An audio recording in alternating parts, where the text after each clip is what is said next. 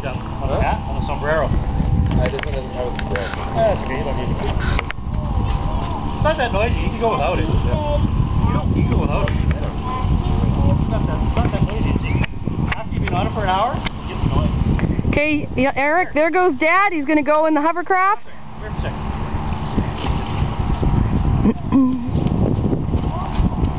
Okay, you guys ready? Yeah, there goes. Tell me you want. Here we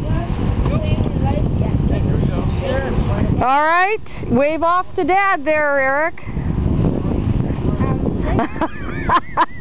Okay, bye. there they go.